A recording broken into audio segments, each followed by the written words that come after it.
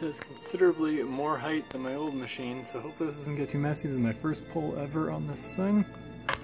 So, I don't know what that does. It's supposed to do a pre-infusion, but nothing happens. So, oh, no, it makes noise, but nothing comes out. So,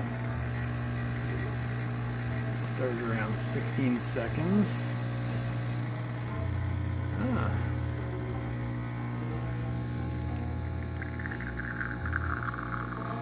Not too messy. I check the. We got the 30 grams. Oh shit. I think that turned out good.